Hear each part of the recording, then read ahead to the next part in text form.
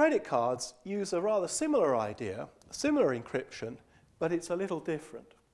And we're gradually working towards an understanding of what is the general structure of all these things. So probably your credit card, um, it may have a 12 or a 16 digit form. Here's a 16 digit form. So I've just invented uh, a number here. And uh, what we do is that first of all, we adopt uh, a test that's become known as the Luhn test because it was created by Peter Luhn uh, when he worked for IBM in the 1950s. So he was, in, he was asked to invent uh, a secure uh, check digit encryption for banking numbers at that time. And this is what he came up with. And it's remained, remained pretty much an industry standard ever since. So you work from the left to the right, you take every other digit, so all the odd placed ones, the first, the third, the fifth, and so forth, you double them, okay? Uh, if um, the result you get is sort of uh, uh, bigger than 9, then you just uh, uh, go round again.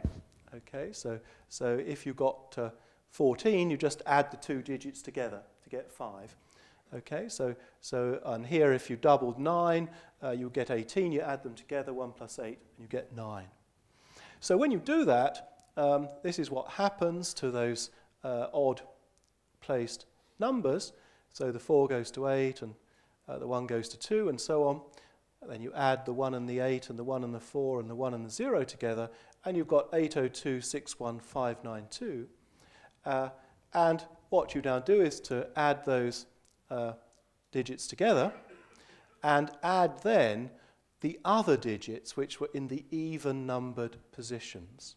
So what you're doing here is creating a sort of weighted sum. You're adding the even position digits to some multiplier times the odd position digits.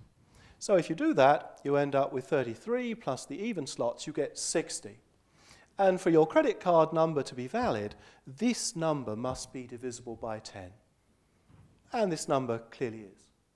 Okay? So if you're in the business of creating fake uh, credit cards, okay, this is the constraint that you, you have to meet. Uh, but, uh, so here's an example that fails. Okay, so if you had made a, a, a transcription error here at the end on the 3 and the 4 as 0 and 0, you would find this sum gave you 57, and this would fail. So this little algorithm uh, catches every single digit mistake, so every mistyping of a single number, and it contains, uh, all, it contains almost every uh, swapping of numbers which are next door to each other being erroneously changed. So one that it doesn't I've given here 09 and 90. So when you come to make the addition, uh, it doesn't make any difference. So you can go home and check your credit cards uh, on the journey home uh, that they're all valid. Uh, don't ring me if they're not. But, um, so uh, it's always interesting to look at some of these advertisements uh, for, for cards. I picked some on the web and you can see whether the numbers are valid or not. This one is not valid.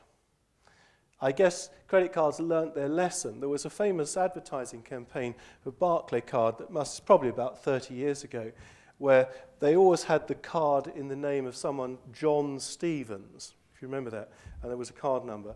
And then there was a very large fraud against the company using the name and number of the card on the, advertis on the advertising scheme. Um, so someone was going around making phone orders for things in the name of John Stevens using the number on the, on the advertisement, which was a valid number.